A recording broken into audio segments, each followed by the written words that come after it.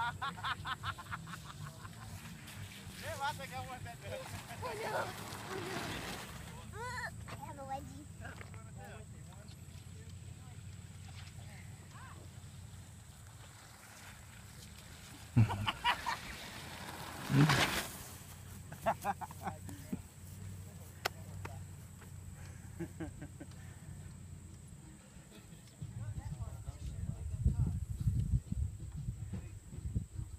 Horizon.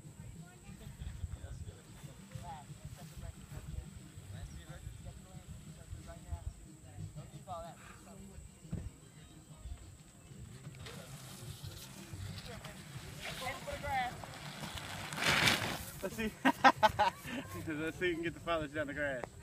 We need something, a buffer right here, man. If you have a regular tarp, you'll slow Uh, down. Should Yeah, put like something to catch a or like a little in, kids bro. pool or something. I used to have it right there where like that area's Kinda messed up. caught the water. We had hay. What can we do? What can we do? Yeah. We had hay, and then we just Can we go get a tarp and shit? we got tarps in right there. I